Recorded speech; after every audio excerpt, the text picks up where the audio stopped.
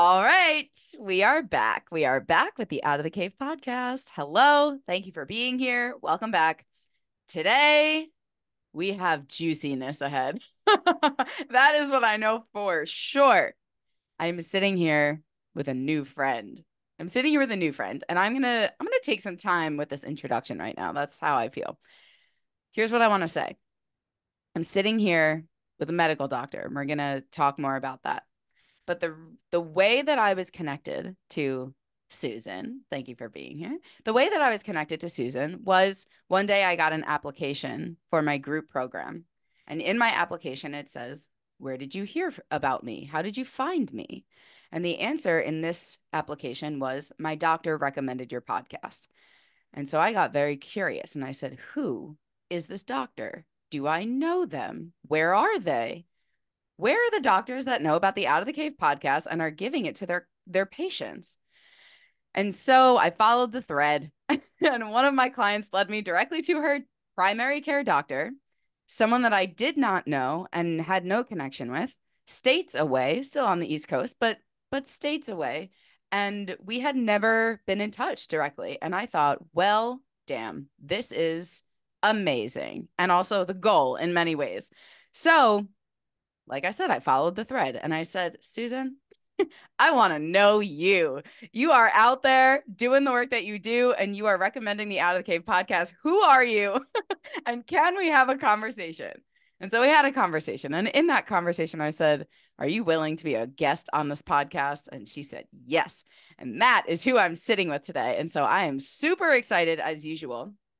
But I also want to say so that's part one that's what brings us here today. Part two is the reason and the intention that I wanted to have this episode put together is because if you are someone listening to this that has ever struggled with your weight or currently struggles with your weight, particularly those of you that are in bigger bodies, you probably know that going to the doctor can suck a lot.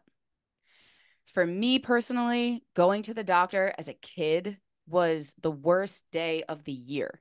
I had to get a checkup once a year, and I did everything I could to avoid it and prevent it and push it off as long as possible. And I have a lot of going to the doctor trauma, specifically around my weight. So this is a personal thing for me, but also a lot of the people that I work with have had, you know, have told me so many horror stories about what it's like to be seen by a medical professional mm-hmm. and how just how terrible that can be. And so when I connect with someone, but specifically a primary care doctor who is seeing humans, not bodies, and treating people like people rather than a set of data, I am compelled to connect. And I was excited to have this episode because I just want there to be more hope that if you are seeing a medical professional who doesn't see you as a human, it doesn't mean that that is true for every medical professional. And it's very inspiring to me when I talk to Susan to hear about how she sits with people and treats people and learns about people and takes care of people and it's it's just amazing to me that there are primary care medical doctors who are out there that can do that and that are doing that. So I said, I want you on my podcast so people know that you're out there and people like you are out there. So that is what we're doing here today. To say I'm excited is an understatement. So that's the introduction. This is probably the longest introduction ever on this podcast. Welcome Susan, thank you for being here. Tell me a little bit, you know, introduce yourself. Who are you? Where are you? Go for it. Dive right All right. thank you for that introduction. That was very lovely. Um, I like to hide a lot. so when you reached out, I was like, oh, shoot, I've been noticed. Darn it. Like, I'm being called out. But anyway, it's like my little light. I like to hide my light. Mm-hmm. And Lisa's like, oh, uh-uh. Like we gotta talk about it. So I appreciate that. Um, so I am in South Louisiana. Um, I am a primary care physician specializing in internal medicine with a little um, extra specialty in women's reproductive health, but we can get back to that. Um, I um, have three young adult children who are wonderfully complex and beautiful and challenge me every day to grow and grow and grow um, and remind me that humanity is so messy. And I think that's kind of, yeah, I'm happily single, divorced, um, but very much fulfilled um, in my life. So yeah, I, think that's kind of the the gist of of Yeah. me. Yeah. I love it. I love it. Thank you. Thank you for sharing that. That I've I've said before is usually like the hardest question. You know, who are you? And people are like, uh, there's there's a lot to say. So thank you for starting us there. That's the other thing too. I think the perspective that you're offering, you are a doctor, you're also a mother, and you're a human in many ways. So, okay. Tell me a little bit about tell me a little bit about the work that you do and how you arrived at this place where this is the work that you do. Ooh. So, um, I just, I, this is just so funny. So in in college, I chose to study psychology because I was fascinated with the inner workings of humans. Because I realized that, man, I had some very weird stuff, you know, growing up, and I didn't understand why my parents did what they did and why my brother did what he did and why, you know, I just wanted to know, like, why do people do what they do? I need to understand this. But soon recognized that psychology was too squishy. There was not enough certainty. Yeah. Like it was not enough certainty for me. It didn't answer my questions. It didn't tell me what I needed to know. It was just way too many questions and not enough answers. Mm-hmm. Mm-hmm. Okay. Yeah. Because humans are like that. Right. Anyway, but I didn't know that at the time. And I wasn't um, able to sit with that uncertainty at the time. So um, I thought about, okay, well, what am I going to do? Because humans are kind of cool, but psychology is weird. And anyway, so I decided to go to medical school because it seemed like I could, you know, do well on tests. You know, I Yeah. had, you know, I'm, I can, I'm, I can understand these things. I can make A's on tests, you know. So I kind of went that route and love the science, love the data, love the problem. Let's, let's find the problem. Let's fix it. It was so concrete and so like I can do this. Yeah. Yeah.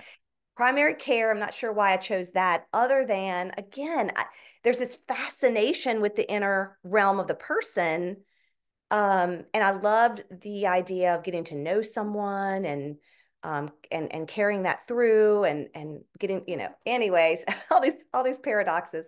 Um, and so chose um, internal medicine and pediatrics, but I'm no longer treating children but this whole idea of the development of the person and and then the diseases that come along but when i started practicing it was like the opposite right like i i was focusing okay let's focus on the blood pressure let's focus on the numbers let's Right. let's get this cholesterol down i've got the medicine for you you know Right. Right. let's fix the you know let's find the problem and get the pill to go with the problem and that was what i did Mhm. for a while. And I realized that that doesn't work, A, and it misses the person. It, it really does. And then the person keeps coming back not fixed. And so then that reflects on me. I must be doing something wrong.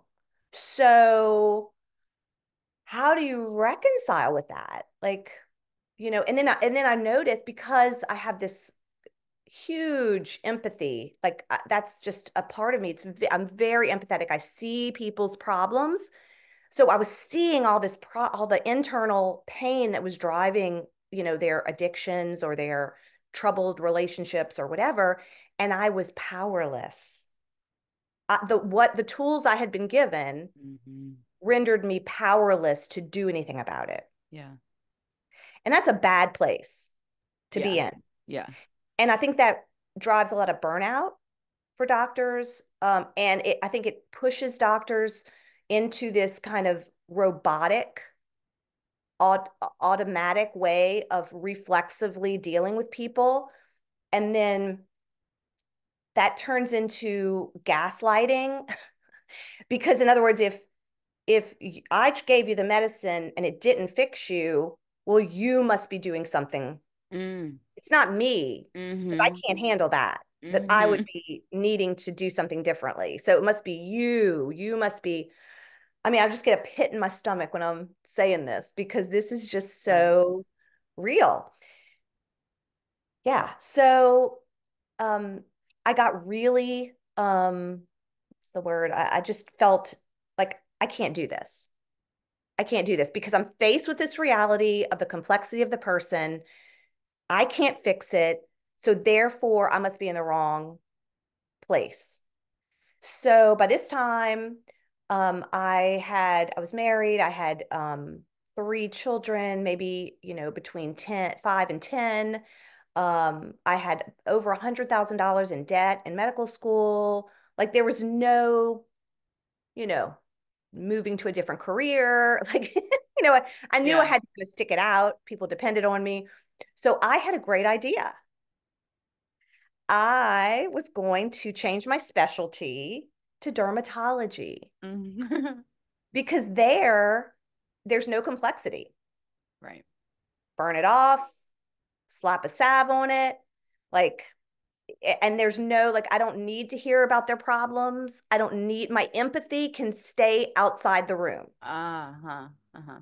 i can just negate that part of me show up and and and man and then i can have more stuff i can travel i can live this happy fulfilled life because that's in my mind you know just make more money have less you know problems that was the my recipe okay Naturally. So, right, right. So real, so human. And so I um I went about that, tried hard to make that happen, and of course I didn't get accepted into that program. So there I was stuck Mhm. in that place. And and so um it was really I had I I didn't know what to do and that was the most beautiful place I've ever been in, really, if you think about it. Yeah. Right? And we all have to get that to that place of like, okay, I'm powerless now. I I have a desire to, you know, that my desire was still, you know, anyway, to to I still loved medicine, but how was I going to make that work? So there was a journey. There was a journey there. Mhm. Mhm. Um I uh kind of got reconnected to I had been spiritually like disconnected from I'm I'm my faith. Um I started to like think more deeply about things and people and start to say, okay, let me, let me, okay, how, how about this? I'm going to walk into each room and pay attention, right? A little bit deeper and listen to people a little bit more because maybe, you know, I don't know, I, I, I didn't understand really what was happening. And so at that time, what was most glaring to me was um, I started to pay more attention to women's health and the idea, um, because it, it happens everywhere in medicine, what, what we just talked, that dynamic, Yeah. but especially around this idea of women's health. Pro- so I, my own journey was um, had a lot of problems with my periods and I took birth control for 10 years Mhm. for that and then ended up unable to conceive. And so I started to realize, wait a second, we and then used IVF, in vitro fertilization, to conceive my children. So when I really took a step back and looked at the way that I was being treated in that, it was totally dismissive of what was Mm. actually happening in my body and in my mind and in my relationships and in, you know, And it was very much, well, this will be the answer. And it's this very superficial, one size fits all, band aid kind of approach um, that rendered me basically sterile so that I would have to be fixed mm-hmm. with another medical procedure. So, this really medicalization of something that now I understand um, needed to be li- uh, my I needed to listen to my body, I needed to nurture my body, I needed to pay attention to where my needs weren't getting met, and which is what I do now in women's health. Yeah. But at the time, um, I was just noticing it in women's health. I was listening to my patients who were telling me about their their strokes and their blood clots and cancer that was related to birth control, and I was like, "Oh crud!" And I'm like writing this stuff like candy, right? Right, because it's this way to manage these messy symptoms that I don't feel like dealing with in my patients. Right. Right. And so that kind of was the door that opened to opened me to this world of wow, maybe there's more to medicine than just hmm, hold on let me so this i am i was kind of taught that I'm the one who has the power to fix, control, medicate, deal with the problems that my patients have. Mm-hmm. Turns out, right, that is a horrible, horrible idea. So then the other thing, you know, coming back to this your your work, um, another thing that drives me crazy and still does, to be honest, is the powerlessness I feel around people who struggle with eating and their body. Yeah. And weight. Yeah. Because I cannot fix them. Right. Right. All the Ozempic in the world can't fix them. right? And so, uh, you know, it's this powerlessness. It's this powerlessness that I was dealing with. Like, wait a second, it's not my job to fix you. Yeah. Yeah. it's my job to love you and to listen to you and to receive you and to sit with you. Anyway. wow. Yes. I, oh, I'm going to just let that linger for a second. Heard it here first, folks all the Ozempic in the world can't fix you, followed by it's my job to love you. It's my job to love you. Oh man. I'm so glad you exist. I'm so glad you exist. Thank you. Thank you for sharing all of that. Truly. What a story. I have a million questions. so that's why I'm sitting here with a pen. Okay. First thing that I want to go back to is this idea. Well, first of all, like what you're saying about if you, as the doctor, are trained that you are the solution and you fix people and you solve problems, and then you're sitting with a patient and you can't fix them, what happens in that dynamic around your own projection of your powerlessness right? That is, I can't be the problem. I went to medical school. I have a degree. I have the answer. It's this medication or it's this diet or whatever. And then the patient is still struggling the way, like, the I'm fascinated by this because it makes all the sense in the world. The way that it becomes, I can't be the problem. It's not me that's screwing up as the doctor. It must be you. Because if anything is the problem here, it's certainly not me and where I go with that, of course, is well, okay, how many people have been to a doctor struggling with their weight and their doctor says, eat this way, move this way, do this thing, even take this medication, and that will solve the problem.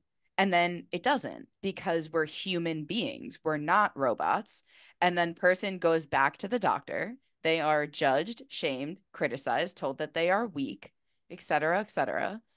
But I think it is so important for people to understand psychologically what's going on there. That is, it's not your fault. You're not broken. You're not doing something wrong. It's that the doctor doesn't know how to fix you. And that creates a lot of insecurity, inadequacy, fear, shame, perhaps. And doctors are not taught. I know this is an umbrella statement, right? But part of medical school, I would imagine, you can correct me if I'm wrong. I don't know. I've never been. It's not addressing the fact that sometimes you're going to feel powerless and ashamed because you don't know how to help a patient. Here's how we cope with those emotions. Right? It becomes she's laughing. she, she's sorry, laughing. What are emotions? what are emotions? They don't they don't we don't deal with that. That's not right. So so it's not part of the training to be a doctor to say, "Hey, you're getting triggered by your patients. This is what you need to do to sit with that and actually see your patients as human beings." Right? So what happens? Well, we project it and we say, well, "You're the problem." Which must be i i personally am feeling so validated as someone who has been morbidly obese on the bmi chart going to a doctor being told that I'm the problem because it's like, oh, oh, so you just weren't taught this, right? And I know how I feel when I'm not taught something. I mean, think about it, right? If especially if you're listening to this, how does your inner child feel when you are taught how to do something and then you can't do it? For me, that brings up so much mm-hmm. shame, fear, uncertainty, inadequacy, insecurity. But if I don't know how to sit with that and deal with that, personally, internally, it's just going to go outward. So I think that is such an important point you're making about your experience. And again, this isn't every single doctor. I'm aware of that. But but that's what I'm hearing. And I think I want everyone to know that this is very, very often what's happening behind the scenes. And we just don't know it because also they don't know it. Yeah. Huge. Yeah, and it's an incredible bind, to be right. honest, right. for the doctor. Um, it's it's an incredible bind, and then you know now that I have been doing some work with internal family systems, parts work, nervous system work, I understand that patient a lot of patients are coming to doctors as a an authority mm-hmm. figure, right. almost in this childlike way saying, I need help. Right. Like, mom, dad, like, I need someone to help me. I feel powerless here. Yeah. And that is going to trigger all of my own mm-hmm. parts that feel triggered and powerless. And then I feel like, why the heck are you coming to me to ask for things that you should be able to do for yourself? Right right? I mean, it's just this crazy dynamic that's going off inside of each one. Yeah. Yes. And so, and it wasn't until I could understand and name my own, okay, wait, hold on. What's really going on here? Mm-hmm. What's really going on here? And that's where, you know, when I heard your work and how you were like, what saying to people, what happened to you? Like, what is going on? Like, you're, you're just inviting them to this beautiful intimacy with themselves to reconnect you know to their own wounded parts and love them so that they won't be grasping for that love and that connection from things that can't supply it right right huge huge all of this huge huge huge Love it. Okay. So here's my follow up questions. One is I'm interested, you may not have an answer to this, but this was just a curiosity I had while I was hearing it. What allowed you to notice that what was happening in the room with your patients was about you versus you know your colleagues and peers that are saying the patient is the problem or the patient has the problem. What allowed you to to do that or notice that? You know i don't know. Yeah. That's good. That's a really good question and i think it's it's over time. Um and i think it may have something you know i'm listening to, to nicole Sachs's podcast about the chronic um, pain, cure for chronic pain, and and things like that. Um, and I've been really curious. The you know the with uh, Gabor, I mean, um, the body keeps the score uh, mm-hmm. with um, van der Kolk. Thank you, thank yeah. you. And realizing, I just at some point in my journey, I, I realized that I had been ignoring my body. I mean, you have to do that in medical school, to be honest. Like yeah. you have yeah. Mm-hmm. So I had just been shoving my body in a corner in a, in a sense and saying, I don't care. I don't care what you feel like. You got to go. You got to go. You got to do. You got to do.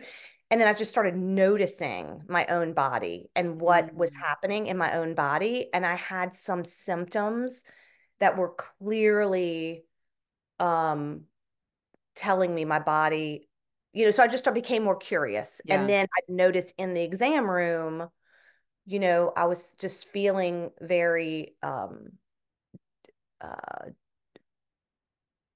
panicky and mm. you know and and and and weird i'm like oh man I, this is this is you know before this is really annoying yeah. you know body right. really annoying but um just starting to listen and just pay attention to myself and yeah. realize that wow like and just that i'm just very very curious you know that that that 17 year old who went to college looking um into psychology is still in me and right. Right. I, I i'm uh, just very, very curious about why we do what we do. And I love to learn that. So yeah. I'm very curious. yeah. Yeah. Well, you're a truth seeker. You know, you're just going to keep chasing it. I, I mean, I, I resonate with that a lot. You know, what, what comes to me when I hear this is it's fascinating to me as someone who went to school for social work and was trained as a therapist, you know, how different the training is. And like, obviously, you're going to school for medicine.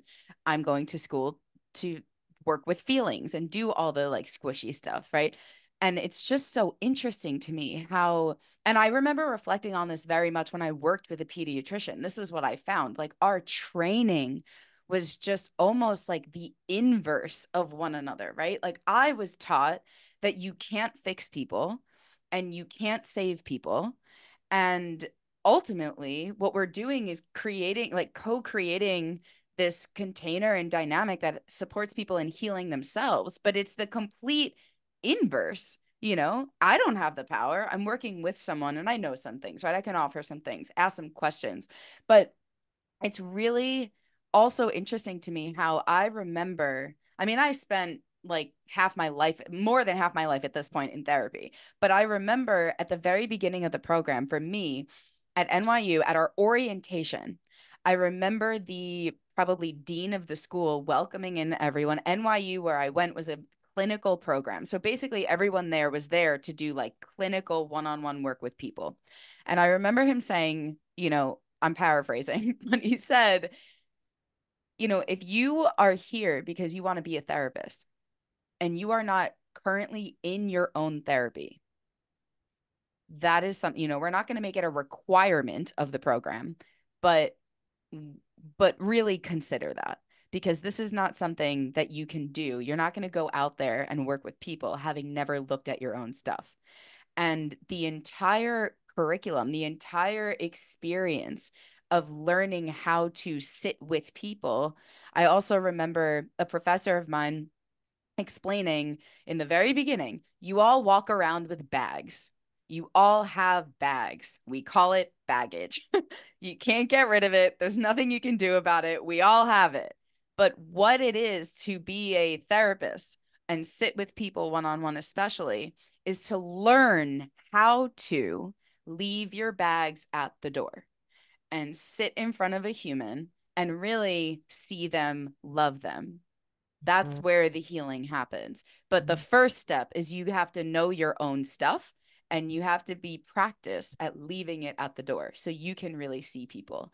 And how different that is from the experience of medical school where oh. right for me it was like get in touch with your body feel your feelings notice what's coming up. So much of learning how to sit with people then i start working with people and part of that is going through and being like this is where i was triggered. This is what i thought of. This is what i was feeling. This because that you're the vessel. You're the vessel. So you have to clear out as much as possible. Become aware of as much as possible so you can drive yourself in a way that is supportive to the person you're working with. And it's so interesting to me how that training was all about getting in touch with myself. And your training was, oh, no, no, no, no. Stick your body in a corner, show up, learn how to put band aids on. Yeah. And repress, and repress, repress, right? repress. Part of Just- the job. Don't bring your feeling. Your feelings are not needed here. We just need your mind, intellect, highly trained Right. tool. Yeah. Right. People up is basically what we're doing. Yeah. People up. Yeah. How do you feel right now, just like as you're saying all this? I see your, your facial expressions are giving me so much life, but I have access to those. People listening don't. Oh, Tell me how so you're much- feeling.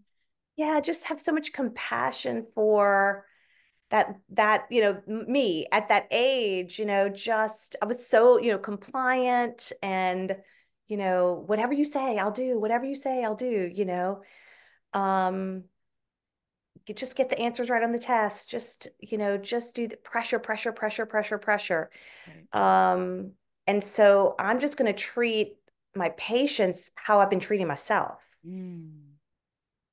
Just get get yourself together, right? I have another patient waiting. Get yourself together. Let me fix you. And I would be so happy when the patient would come in and say, "Oh, I don't have any problems. I'm just here for my checkup." I'm like, thank right. God. you know. so, Right. um, but yeah, so it's Mm. and and just learning to just it's okay to feel powerless. You know, it's okay and learning to just sit with that. And but it's it's hard, Yeah. Yeah. very hard to do that. Yeah. Thank you. I mean, that's the other thing that's that I'm feeling and thinking while we're having this conversation is I really have incredible empathy for, you know, you use the word bind, being in that bind and being a human who's trained as a doctor. How again, for me, how scary I would feel if someone were sitting in front of me and I didn't have the answers and I was expected to have the answers and I was taught to have the answers and it was my responsibility to have the answers and it's my fault if I don't have the answers. Like that, I have so much compassion for being in that place because no one wants to feel that way. Like that Yeah. feels so scary. And also I'm thinking about, you know, the the dynamic that you're talking about. You were taught that you had all the power and the reason people are coming to you basically asking to be saved from themselves is because we're also taught that you have all the power. like the whole culture, you know, is bought into largely the idea that we are broken and if we go to the person in a white coat, we will be fixed.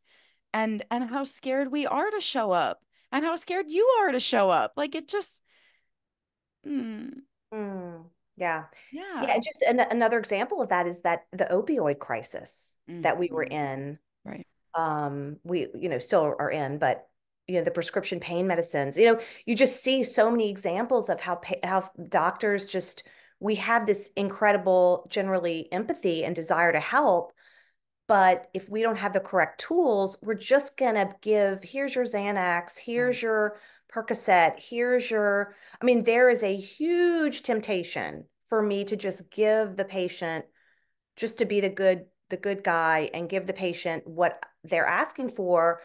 Um, but you know, when, you know, Thomas Aquinas said, you know, g- love is willing the good of the other, Mm.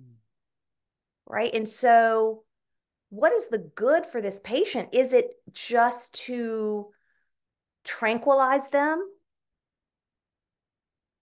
Right. Or is it to, again, sit with them, love them, let them help them to name that there's something deeper here that needs comfort? hmm That, that, that, that this is a sign, their pain or their anxiety is a sign that something deeper needs to be be held and to Yeah. be known, Mm.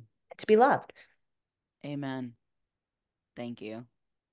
Yeah, I think another important reason to have this conversation is because, you know, when people talk about, especially, you know, going through my group program and like doing some of the homework assignments and really reflecting on their relationship with food and their bodies, a lot of the time there's a lot of anger and resentment at doctors.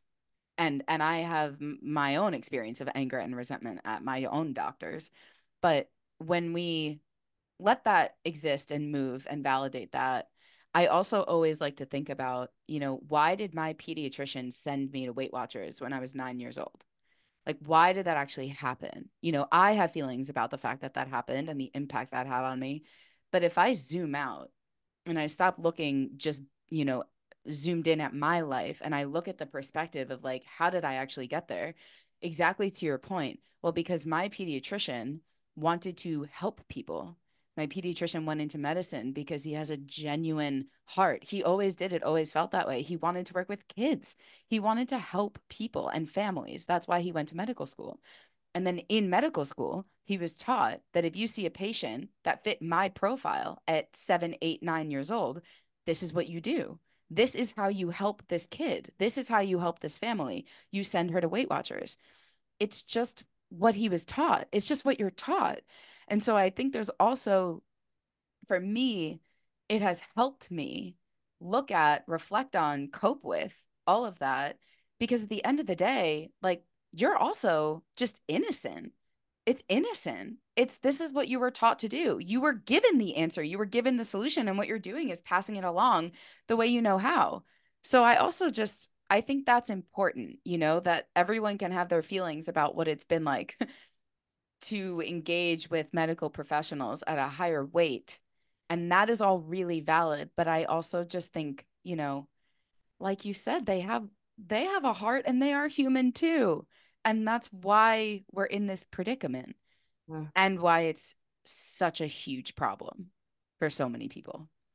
Yeah, yeah, because if you if, if you as a doctor, I as a doctor, we've been taught to just look at the body without any complexity, without the soul, without the mind, without all of the wounds and all the things, then all I have is, you know, these weight loss shots and Weight Watchers and move more, eat less. Ugh.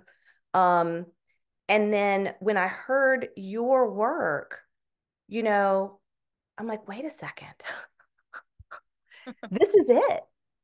Like, this is it, right? We have the body cannot be picked apart and and and manipulated over here which is basically all we do in medicine mm-hmm. like we have to allow the body and soul to be reunited and held together as one because only when they work together will we accomplish anything good Amen.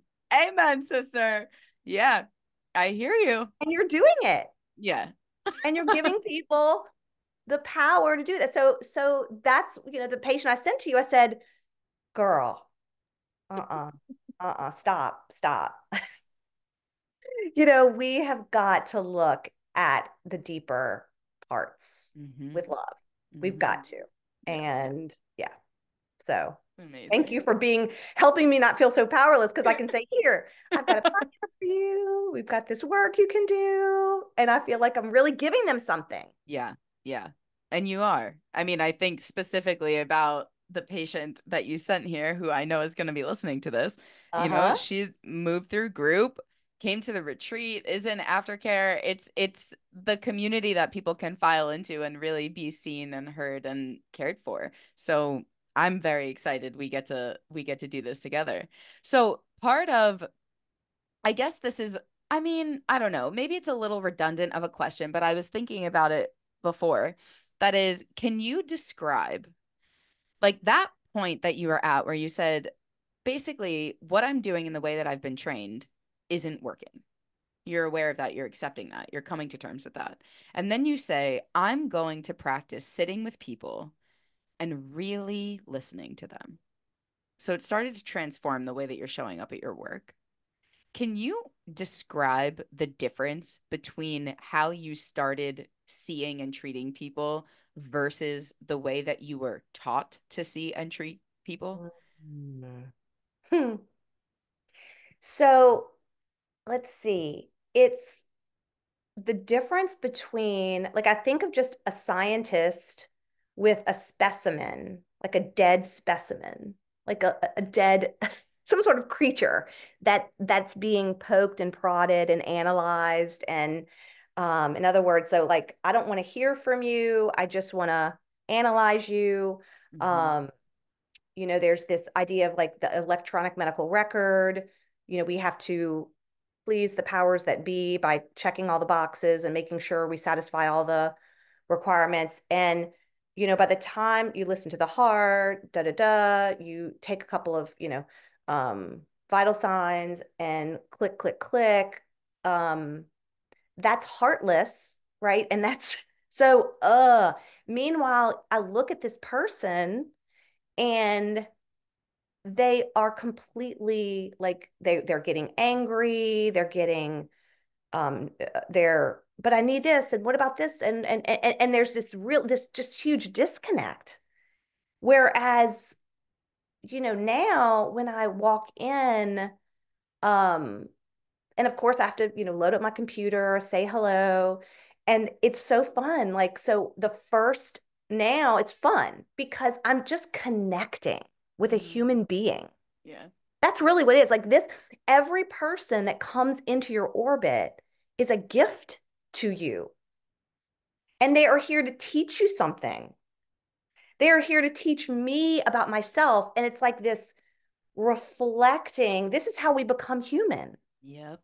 This is how we become human by interacting with other humans, sharing our gifts with each other. So I, um, I'm a huge pet lover. Um, I have a cat and a dog, and um, I found that you know a lot of patients, you know, when when when I meet them, like, okay, so tell me about you, and they're so funny. They don't, they're not used to that, right? And so they say, um, well, you know, I've got high blood pressure and I have this problem. I'm like, no, no, no, no, no, no. Uh-uh. No, no, no, no. I don't want to know that. Like right now, I want to know who are you?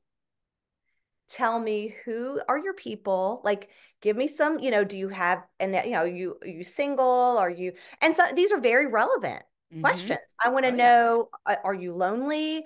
Or do you have a, a loving people at home that love you? you know do you enjoy pets tell me about your dogs let me see the pictures you know let's talk about your you know and, and like la- we laugh together and like are you retired and and, and we just for the few, first few minutes it's just i just want you to know i'm human and i just want to know you're human and um that's it like let's just be human together for a moment yeah and then you know, I just share, you know, I can kind of get the vibe of what they're, you know, sometimes they're just all business and they just want, you know, and that's fine. And that's fine. Right. And so we just, that's, and that's more, it's just human. Yeah.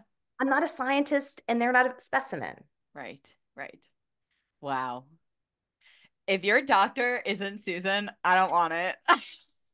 this, it's so big. Like, who is used to that? I can imagine how many people are listening to this being like, wait, what? That's what a doctor visit sounds like with your primary care physician? Yes, yes, when it's Susan. Thank you.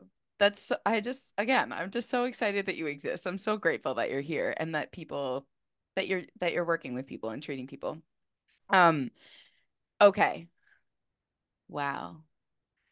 I'm really just like swimming in this right now. I feel like I personally, all ages of me are receiving this right now. Um, so I had another question.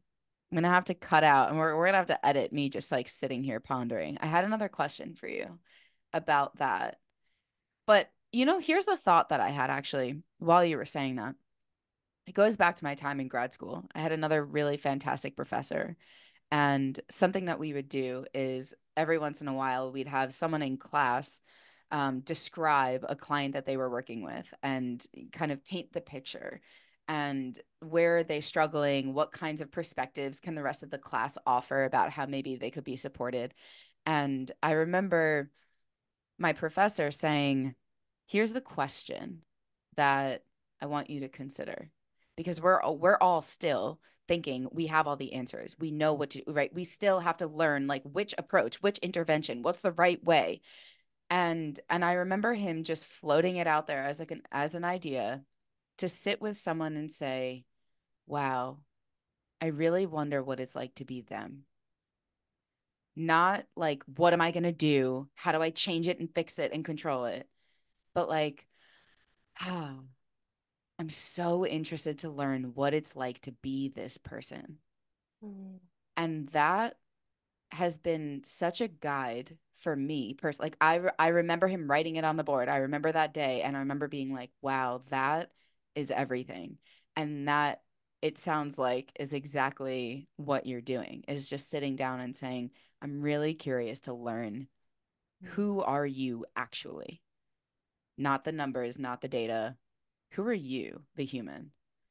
And that's where real healing can begin from the inside out, which is very exciting. Yes. I love it. Yes, that's exactly um that's exactly right. And you know, I'll admit, like when somebody who's 350 pounds comes in my office and sits there in front of me and complains, yeah, I don't know why my leg's swollen. I don't know why my stomach hurts. I don't know why my head hurts. And I go down the list of problems and they have high blood pressure and they have diabetes and they have, you know, you know, there's a part of me that is feels overwhelmed, you know, because the person in front of me has had enormous you know, pain. Yeah. right. And I want, and, and, and I feel power, you know, there's an, like, oh gosh, like, uh, the, the, uh, uh, right. Um, it's so hard to sit in front of someone who I know feels so much grief and so much shame and so much suffering, but they're totally out of touch with it. Right. Right. They're totally out of touch with it. Um, and it it can be dangerous, you know, what you say. I, I get that. You know, I have to be very, very careful. Um, and so that that approach, you know, just just okay, hey, can we let's just be human together for a minute. Let's let's see what you're willing to share with me because you know they're very closed most people when they go to the doctor very yeah. whoop, you know hide like just you know right don't want to show anything. Um, but you know, I have to stop, like calm down, calm myself down and say, okay, it's not my job to make all of that the, her problems, his problems go away. Mm-hmm. It's my job right now to just be with and to let them know they have a partner. Yeah. Yeah. They have someone on their team who's willing to partner with them and walk with them and journey with them and hear them and um, and and we don't have to do anything today right. to fix that to fix anything right? We don't have to fix anything today.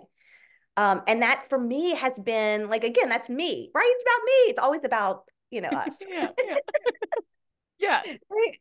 But just to notice like wow like what happened? I want to know your story. I want to hear your pain. I want to and i can't do all that in one day. I can't. Right. um but I don't want them to also feel like here you need to be fixed. You're incredibly broken.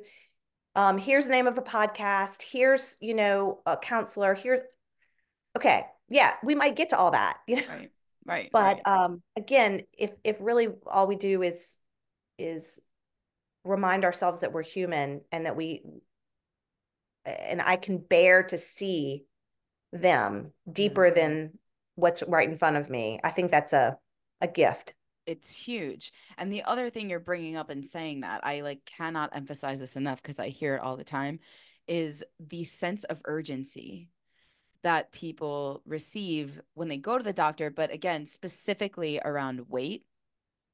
So if I am overweight and I go to the doctor, it becomes this like there is a predator in the room right now you got to get this weight off your body. You have to do it by yesterday. Like the the guidelines that i've heard my clients receive from medical doctors you need to lose x amount of pounds by this date. You it needs to happen. It needs to come off. You need to do this. And then what does that do right? Then people my clients come back to me being like i am in full blown panic because my primary care medical doctor, the person in the white coat, the person that knows all the answers and the person that has all the power and the person that's right about everything told me that if I don't lose X amount of pounds by this date, X, Y, and Z, I'm going to die and it's a catastrophe. So, the very important thing about this that I've said before on this podcast is if you're in a mindset of, I need to lose weight, like it is life or death, I need to lose weight. Well, what's happening there is now your brain thinks that you are in life threatening danger. And with all the love in the world, good fucking luck. Like you can't get very far if you're running from a predator. So sometimes I like to say, if you're like, okay, well, I do need to lose weight, what I like to remind people is, you know, maybe you would like to lose weight. Maybe you want to lose weight. Maybe it will support your health to lose weight. But the I need to sense of urgency around it is not helping you lose weight. It's not helping you anything. But so it's also amazing to me that you have the awareness to say, this isn't about today yeah, sure, maybe weight loss would be good for your health. And this is not coming from a sense of urgency.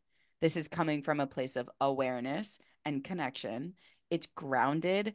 And what that means is it's safe. It doesn't mean we're not going to look at it. And this is going to be my follow up question for you. It doesn't mean we're not going to look at it. It doesn't mean we're not going to talk about it. It doesn't mean I'm going to sit here and say, don't even worry about your weight. Right. Sure, that could be part of the conversation, but we're not going to panic about it because that's not going to help you get anywhere in a long term, healthy, sustainable, safe way, at least. So, thank you for also offering that and pointing that out because that's the that is probably the biggest bone I have to pick with the stories I've heard of people going to the doctor is that it becomes the charge, the urgency around it becomes so life or death, at least in perception, that it just sends people spiraling in the opposite direction. You can't be productive there. So great work, Susan. right. And that happens too. I do a lot of work with women who are trying to get pregnant.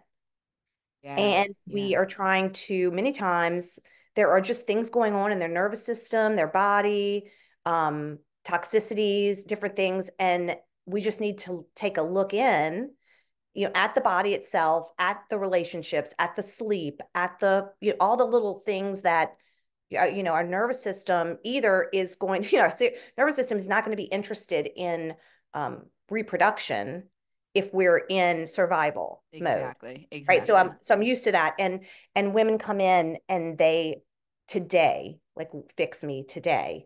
And so i realize they're just the my job is to kind of set the tone of the mindset and the vision of where we're going with this and uh, of the acceptance we need to have just the the pace the yeah the the nervous my nervous system has to kind of help them regulate their nervous system yep. um, around what their goals are.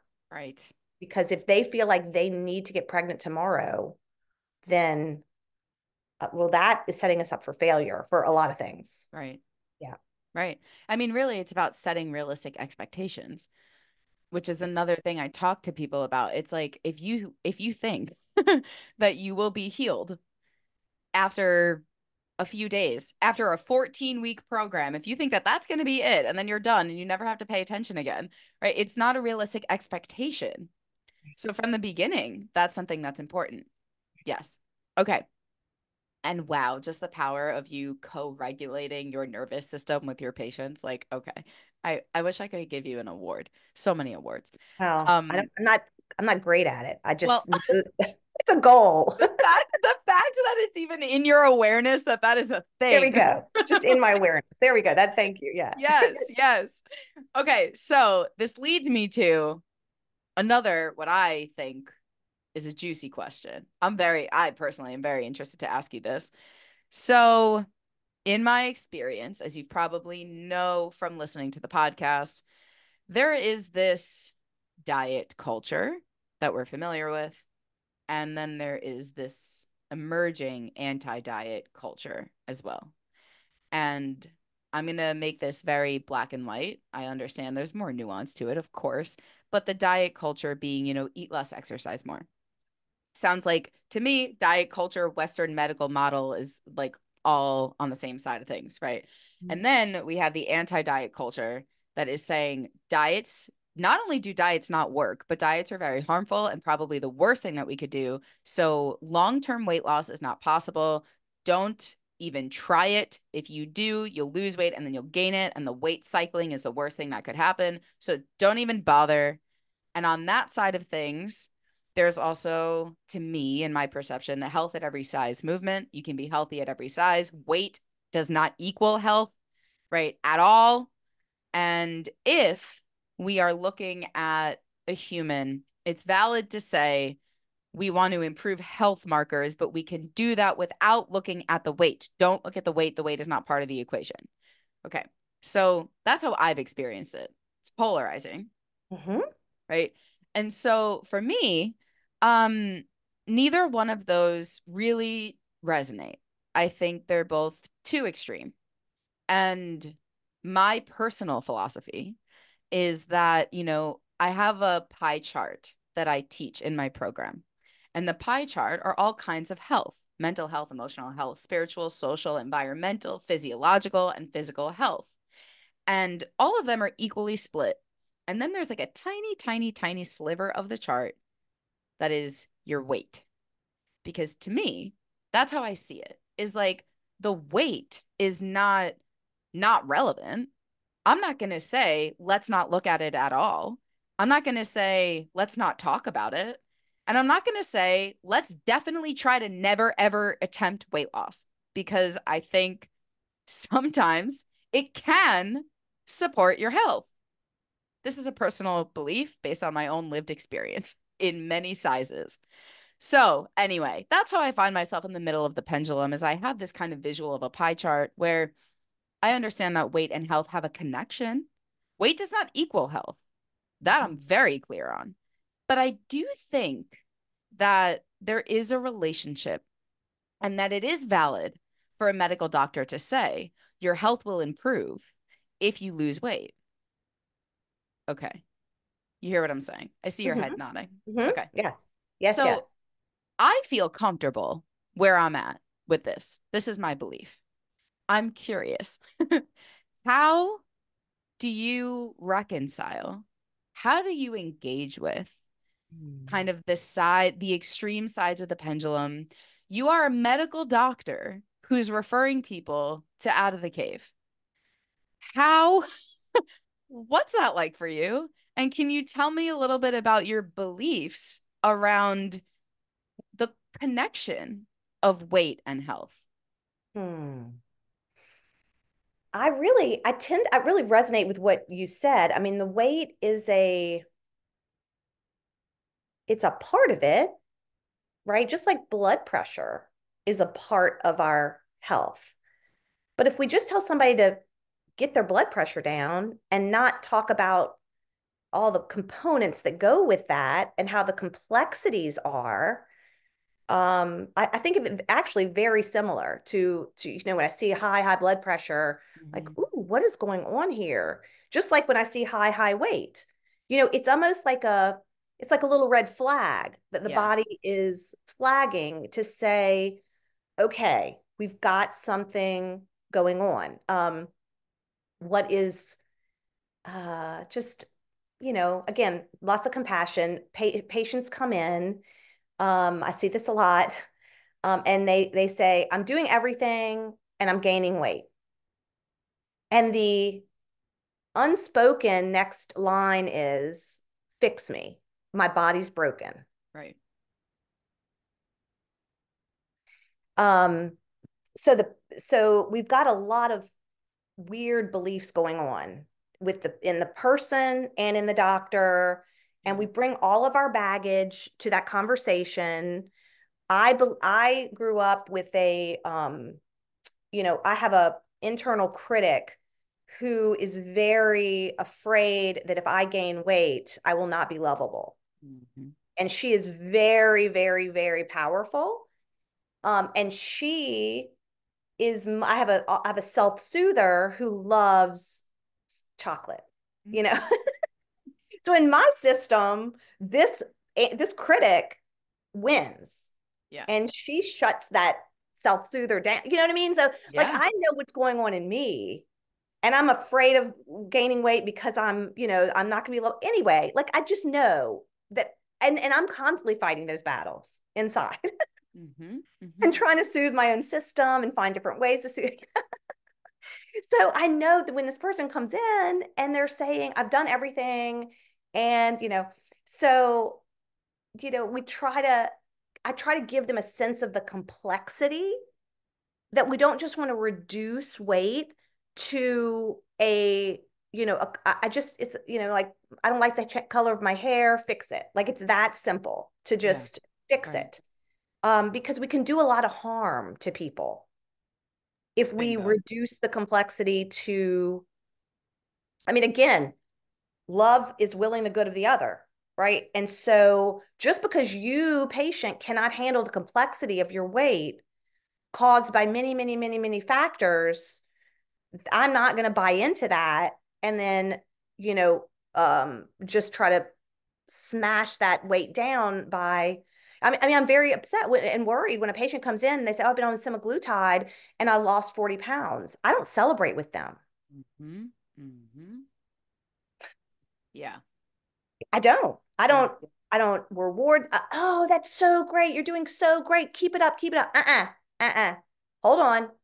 What? you know, I'm like, okay, I, I I'm, I'm I'm concerned. First of all, I'm concerned. So I don't want to go down all that, road, but that is, you know, I think again, because because that could be from a place of starvation. It can be a place of dehydration. It can be a place of um lo- loss of muscle. It can be anyway. It's and then you have taught me, you know, that you know, if you get a lot of praise for losing a lot of weight, that can have its own negative consequences. Oh yeah. Um, and rewarding that kind of, you know, self, you know, mutilation behavior potentially. I don't know. Absolutely. Oh right. yeah. Yeah. So, um, I don't know if I answered the question. Yeah. well, I, I just have a million thoughts while you're talking. The first is I remember when I at NYU I gave a speech and um it was it was all about basically my work and and what I believe. And I started by you know I'm giving these statistics and the data around eating disorders and obesity and what's going on here in the grand scheme of things both physically as a collective but also mentally emotionally as a collective. And and ultimately to paint the picture that what we're doing is not working period. It's only getting worse and it's making it worse. And I remember learning, especially when I worked with a doctor, about, you know, my philosophy is every time a human being is reduced to a set of numbers, it fails to uphold the fundamental medical principle of first do no harm. Period. If you are reducing a human to a set of numbers, right, you take an oath as a doctor first, do no harm. If what you're doing is is reducing someone to a set of numbers, you are doing harm. You are actually first doing harm. Before you do anything else, you're doing harm. And that stood out to me when I learned that first do no harm was like, you know, the mantra of medical school or whatever. I was like, oh, well, that's interesting because of how harmful this is. So anyway, I think about aligning, realigning. I've written papers about this, realigning the first, the, you know, the front line of medical care with one of the values of the profession of social work, which is the dignity and worth of the human being. Like, what would that be like? Yes. And we don't even know what harm is anymore. Right. We've lost the concept of harm. You know, we can do whatever a person consents to. And we've lost, you know, a lot of guiding principles and right what is a human being? We've lost i mean we yes right we're in we're in a, a pickle. We really yeah. yeah. yeah. And and so i think again each time we can help someone to see who they are and recognize their own power, their own agency, yeah, their own dignity, their own ability to take control of their own lives and not hand their power over to someone else that's a huge work in the world absolutely huge okay i have another question for you this feels like such a weird question to ask you on this podcast. Like, I might, in hindsight, be like, we should cut that one out. I don't know, but it feels very like it really wants to come out. And I can tell you that it definitely wants to come out because of my own personal interest. Like, I'm like, mm, I'm sitting with a medical doctor. I want to know how she's going to answer this. So that's where it's coming from. That is, um, I have heard many times that you know this argument i can't i can't seem to get over this this argument that is long term weight loss is not possible period don't even try it period if you do it will end up worse for your health than if you don't period it's very black and white and i the reason i admit i can't get over it is because well i'm someone who has lost a lot of weight and maintained it and I am not living with an eating disorder and I'm not yo yo dieting. So, like, what I've lived and experienced according to that belief literally can't happen and isn't possible. And so sometimes I think, well, how do you reconcile people like me? How do you how do you speak to what I've been through and what I've done if it in your opinion cannot be done? And I've had people on this podcast who will suggest it cannot be done. Don't even try it. Okay. So I am curious from your perspective. Here's the question I'm actually getting to. If someone is, again, we're using the BMI chart, which you and I both know is bullshit and outdated and this and that, but okay. If we're using it to say you're working with someone who is morbidly obese, we can use myself as an example. Okay. I'm 300 pounds at 17 years old. I'm your patient. What I'm actually curious about, because I don't know the answers to this and I don't know that I'd be able to explain it to anyone.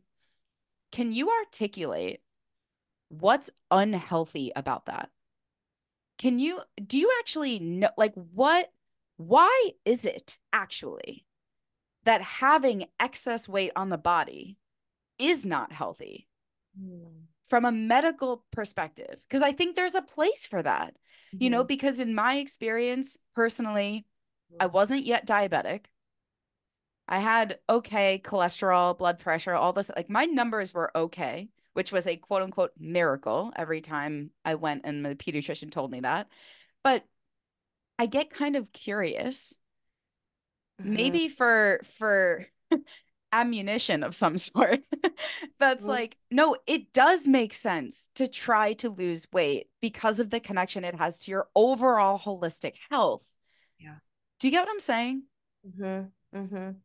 yeah so so to be in a body so our musculoskeletal system was not designed to hold up 300 pounds on a frame of whatever I'm sure. You know, like in other words, it's just not, just not okay. Our heart is not designed to pump blood to sustain. Okay, our lungs are not designed. Okay, um, our airway is not designed. There will be collapse. There will be sleep apnea. Right. Um, insulin, the hormone insulin drives cancer. So just a, a, little aside that is so helpful when I when I heard this. Um, each of us has a genetic capacity to tolerate an intake of carbohydrates. Carbohydrates turn to sugar, and it's the only macronutrient that we don't need to take in our bodies. Mm-hmm. Our bodies make it itself. So we don't, that's the only one we don't need. So we have a genetic like capacity. So when we overwhelm that capacity by eating carbs that are in excess of our, our capacity, um, our body does us a favor because high blood sugar can be can kill us. So our body does us a favor and it stores that energy as fat. Okay.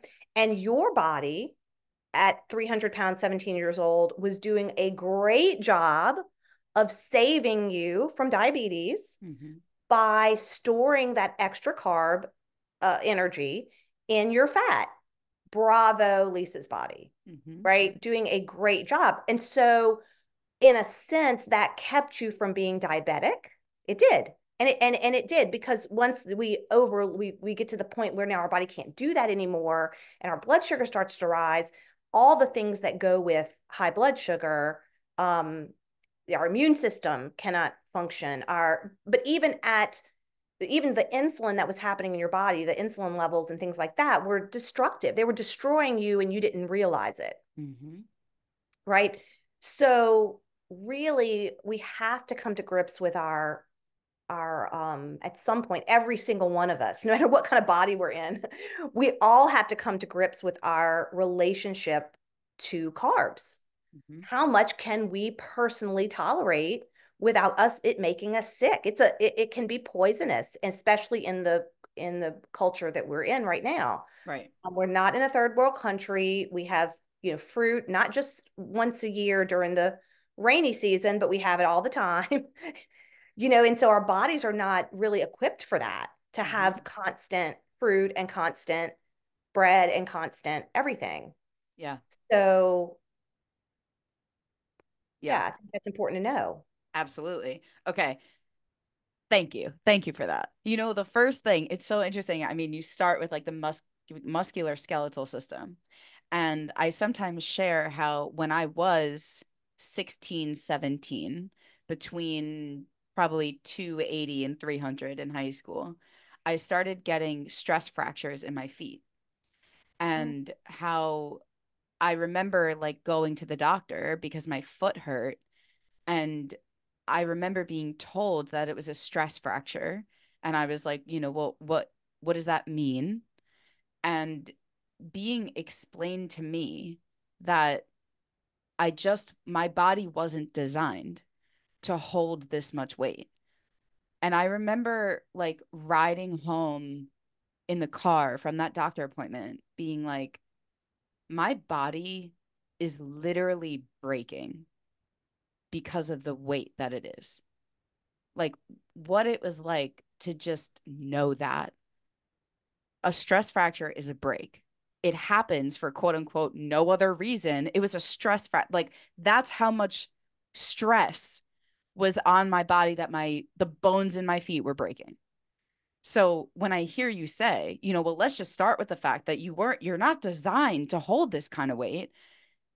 My body is like, oh, I feel that because I know that I have lived that. So thank you. And also, in hindsight, I know exactly why I asked you that question. And I'm so glad that you answered it because to me, part of living in the quote unquote middle of the pendulum is being aware and being educated and informed. It's not swinging the pendulum to neglect and ignorance, right? It's not saying, I don't want to know about that. I don't want to look at my weight. I don't want to pay attention to that because it's too emotionally uncomfortable. I'm just going to not do that, right? But there's something to me very powerful. Knowledge is power. I believe that wholeheartedly. And so when I hear what you're saying, there's something really cool to me personally. Not everyone feels this way. That what you're saying is just objective. It's fact. It's science. It's medicine. It doesn't make me the patient 300 pounds at 17 years old. Doesn't make me bad. Doesn't make me wrong. Doesn't make me the problem doesn't mean anything about my worth or value or character. It means nothing about how lovable I am. It's not about me. It's science that the body isn't designed for this. The heart, the lungs, the system, the skeleton, it wasn't made for this. And that's not about me. but there's something really important, again, about saying this is this is fact. it means nothing about the person. And I think that is so important for people to understand that you can look at this information and not freak out and not panic or freak out and panic and know that it's safe to do so, right? But it's like there's no urgency around it. But if we are telling the truth and we have the bravery and the strength to really tell the truth, there is a correlation between your weight and your health. And it doesn't mean anything about you. But sometimes it really can support your system long term, holistically, to move through something like intentional weight loss. Not because you're a failure if you don't, not because you're a bad person if you don't, not because you will be any more lovable than you are right now or have any more value, but because this is scientific fact. Period. And I feel like that has supported me every step of the way of my journey. It just became it I felt so aware that I'm my body is breaking. It is self-compassion to lose weight. It's not because I'm the problem. It's because my body can't do this for very long.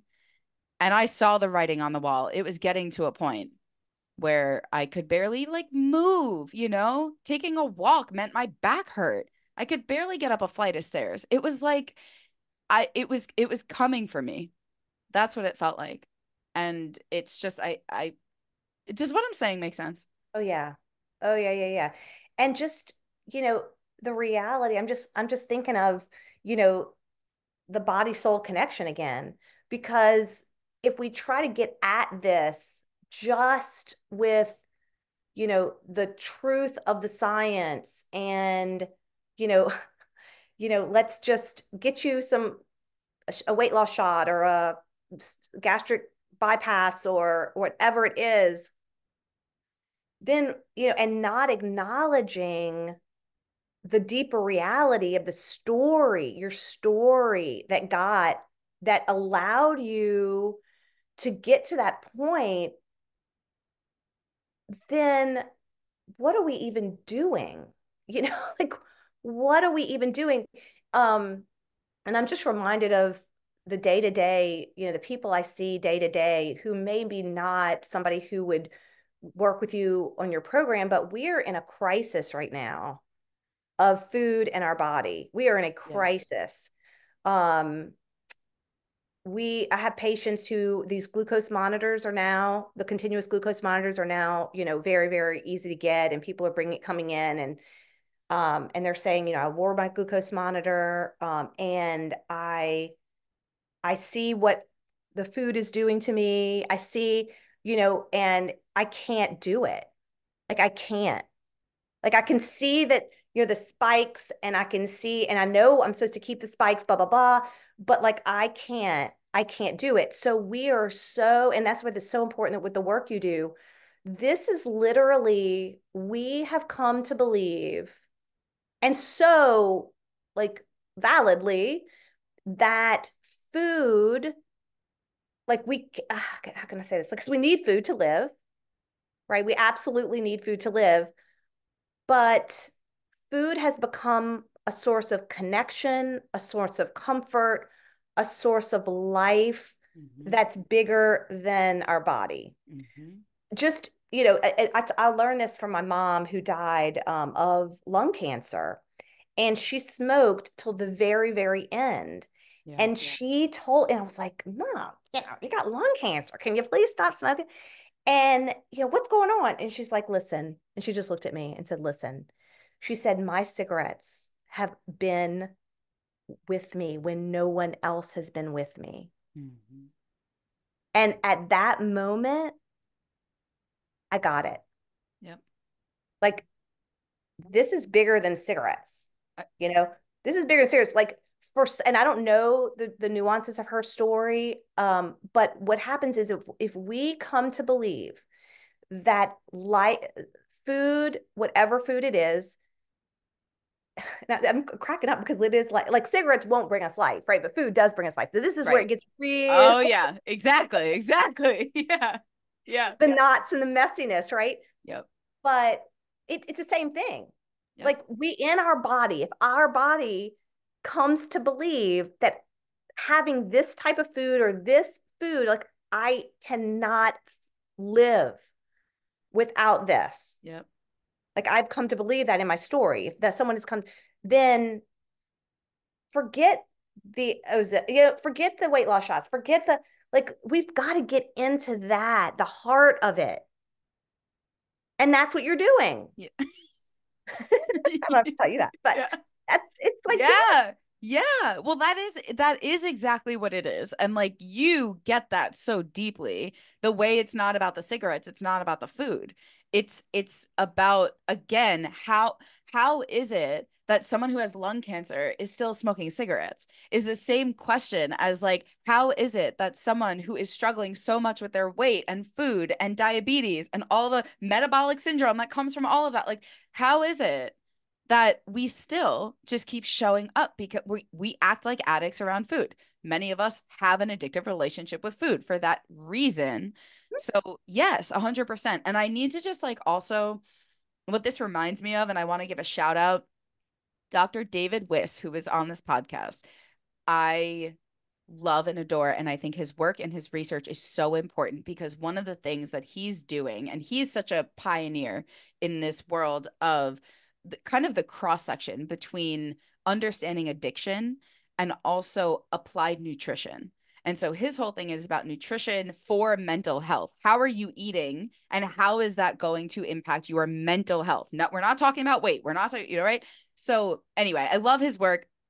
Recommend everyone check him out. The Wise Mind app is his app. Anyway, but one of the things that he is drawing awareness to is the way that this the pendulum has swung. He just um, published a paper about this, how the pendulum swung to treatment for eating disorders to include the quote unquote all foods fit model, right? Because if someone is avoidant and restrictive, especially to an extreme around certain foods, then eating disorder treatment, most of the time, swings the pendulum and says all foods fit.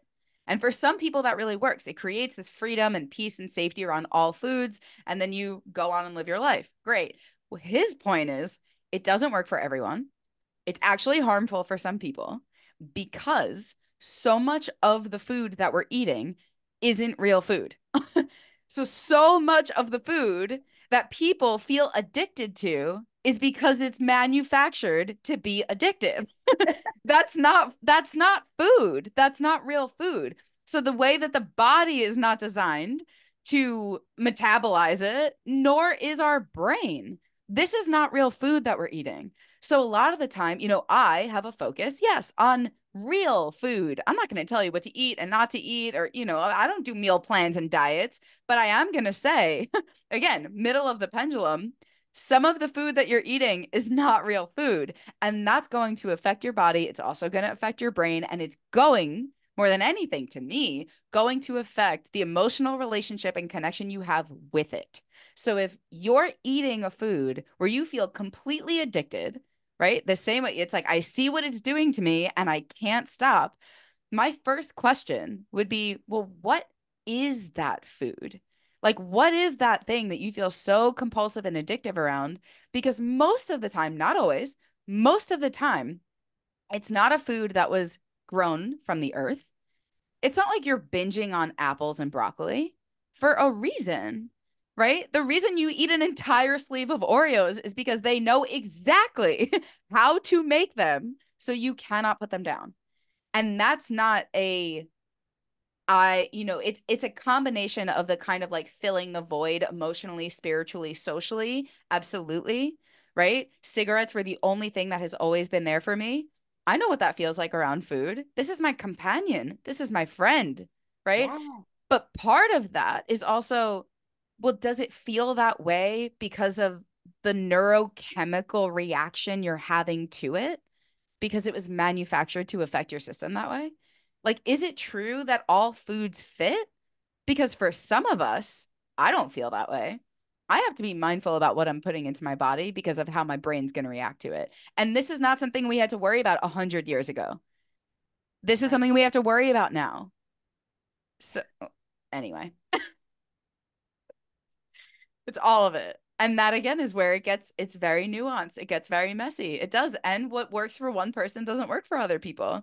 Amen. But that's to me the essence of the quote unquote middle, the middle ground is to say we need to look at addiction crossover with eating disorder treatment and how we're really how we're really supporting people. So anyway, but thank you for that. Wow. Yeah. Okay.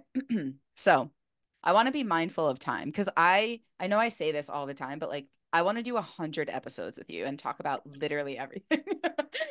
but I feel like if I were listening to this, and I know the people who are listening to this, there is one question I want to ask you before we go. Because we're talking about it, we're mentioning it, it comes up every every few minutes.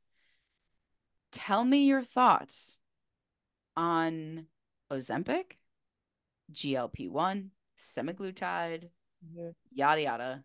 Mm-hmm. How what is your relationship with that given that you are trained as a medical doctor, believe that weight loss can happen and sometimes should. You're also an out of the cave practitioner. That's the award I want to give you. The out of the cave practitioner award. Um how do you exist in this world? I have no idea what your answer is going to be to this. I'm so curious. Well, in the world I'm in, so I, I'm not, I don't have my private, my own private clinic. All of my patients have insurance. Um, I do not really have the luxury to prescribe these medications for weight loss by and large. Mm-hmm. Um, by and large, okay, so you know that um, over 90% of America is either obese, pre diabetic, or diabetic.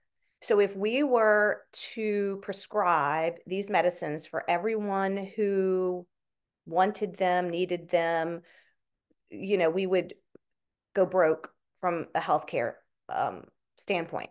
So a lot of the drug companies have, you know, gone gone ahead and said we don't prescribe, we don't um, allow it for weight loss. So, so it's not something that I often have the luxury, if you will, of prescribing. Um, I'm also a very responsible provider. I try to be a very responsible provider when I provide anything, prescribe anything. I want people to know what they're taking, why they're taking it, when they're going to start it, why they're going to stop it, if they're going to stop.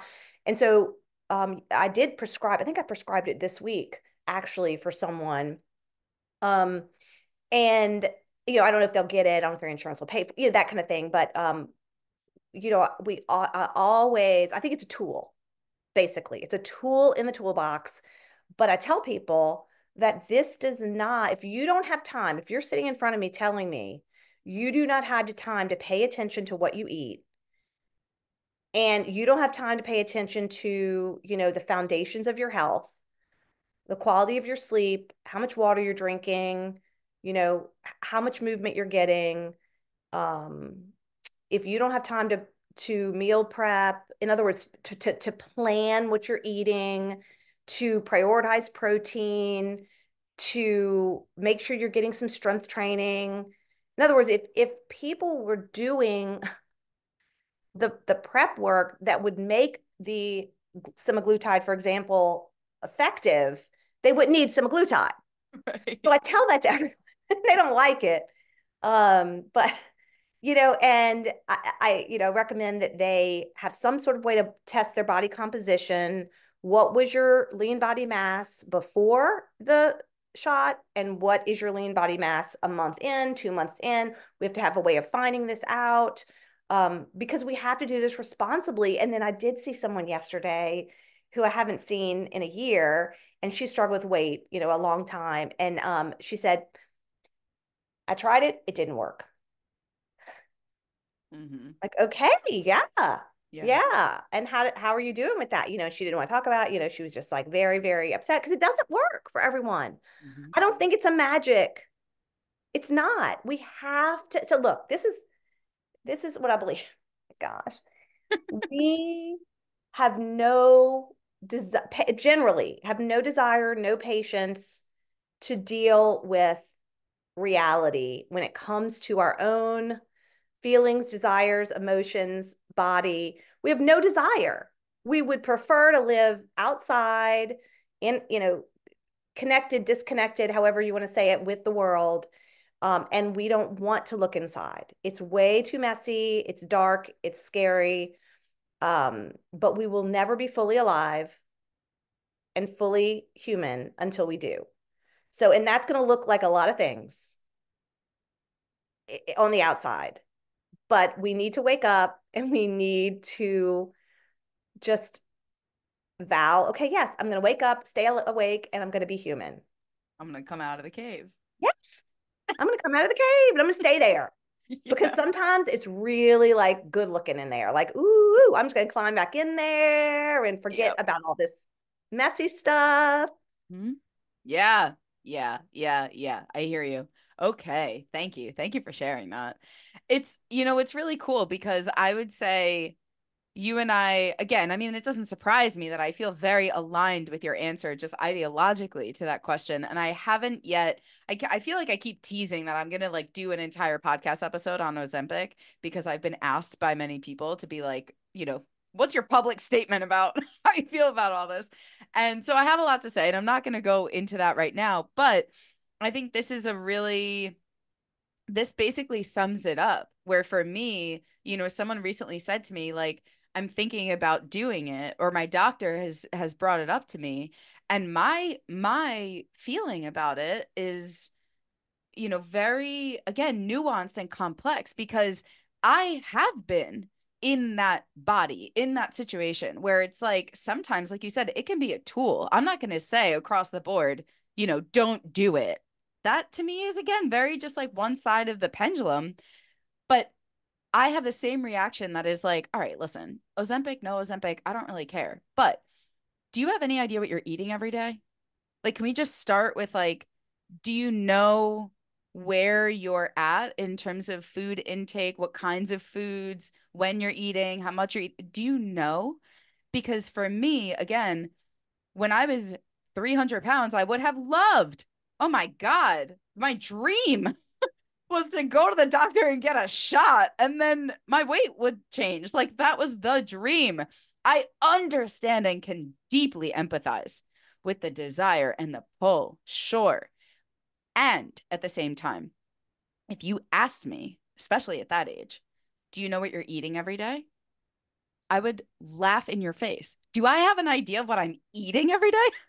Absolutely not. Let alone putting intention and mindfulness and and choice, you know, behind the food that I'm eating, paying attention to things like movement, meal prep, absolutely fucking not. right? And to your point, if I did, my weight would not be what it was. So that's it and i mean like i'm i'm just sitting here being like wow cool everything that i teach in my program is part of your answer. It's like pay attention to what you're eating. Sure you can know your weight you can be intentional about weight loss. The question is how are you doing it? And if the approach is i'm just going to keep getting these shots stay in the cave keep my eyes closed not pay any attention it's still coming from that place of something else is going to save me. Something else outside of me is going to take away this problem and then i don't have to be connected to me and I don't have to be responsible for my health and my body and my well-being. It's it's still operating from the something else is going to save me place, which again, you know, I have so much empathy for. I have so much compassion.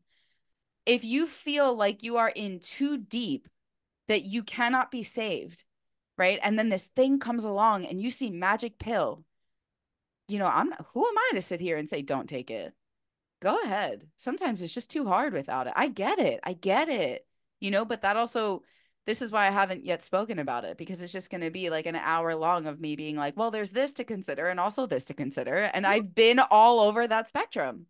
It's mm-hmm. different for everyone. yeah. You know, think about the despair that you feel on the other side of it not working. Mm-hmm. Mm-hmm. Right. Like the patient I saw recently, right. and she said it didn't work. I did it and it didn't work. And she was, you know, you could just, I could sense this anger, you know, and this resentment and the despair, almost a despair of like, I guess I'm just broken. Right. You know, I guess nothing's fixing me now. Right. Oh. Yeah. Heartbroken for that. So, okay. Thank you. Thank you for, gosh, everything. Like I said, I could sit here forever. I would love to have you back here. As as things evolve, you know, I'm just gonna keep coming up with questions and you're gonna be the the out of the cave medical doctor consultant. Okay. That's okay with you. it. I love it. Yeah. Wow. Thank you. Thank you. Thank you. Thank you so much for being here and for being you. Is there anything else you want to just share or speak to before we go? Anything we didn't get to that feels important? Or just any final words of wisdom, anything you want to leave the people Um, with? Hmm, no, I think um, I'm just so grateful that um, there are people like you um, speaking this truth, and so grateful that you have an audience who's willing to listen because listen, this is hard. Being human is hard. Seeing other humans in all their messiness is hard. So I would just say to everyone, just be not afraid. We can do this together. Mic drop. Beautiful. Yeah. Well said. Thank you. So powerful. I feel like I'm going to listen to this episode over and over again. All right, my friend. Thank you for being here. Thank you for being everything that you are, truly, truly, on behalf of me and all the people that get to receive this. And I can't wait to have you back and just continue the conversation. Yes. Yes. All right. Until next time. Okay.